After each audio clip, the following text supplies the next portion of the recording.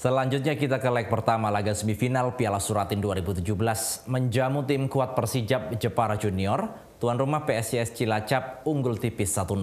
Kemenangan ini menjadi modal berharga bagi tim Cilacap untuk melakoni leg kedua ke kota Ukir Jepara.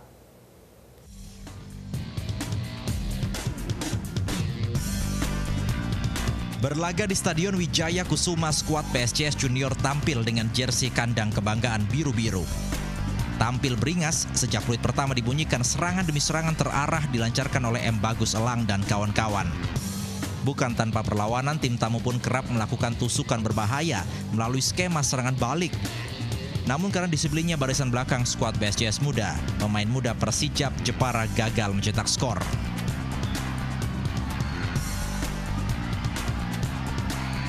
Kesabaran membuahkan hasil, petaka untuk tim tamu hadir di menit ke-41 atas kreasi tendangan bebas anak-anak Cilacap yang dimanfaatkan dengan baik oleh Firdaus Febriansyah. Berdiri bebas tanpa penjagaan, Firdaus berhasil menyundul bola lambung ke arah gawang yang tak mampu dijangkau kiper Persijap Muhammad Sirojudin. 1-0, tim tamu Persijap Jepara tertinggal.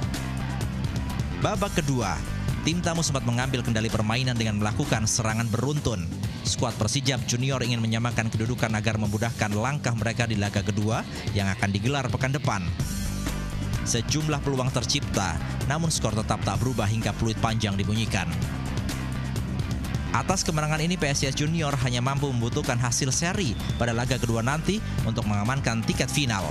Sementara Persijap Jepara harus mampu mengalahkan dengan selisih dua gol untuk dapat melaju ke babak final. Bayu Nursasongko melaporkan untuk NET.